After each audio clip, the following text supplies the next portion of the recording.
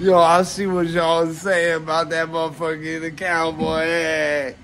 I see what y'all saying. Yo, I ain't gonna hold you. Much like the effect I have on haters in the comment section.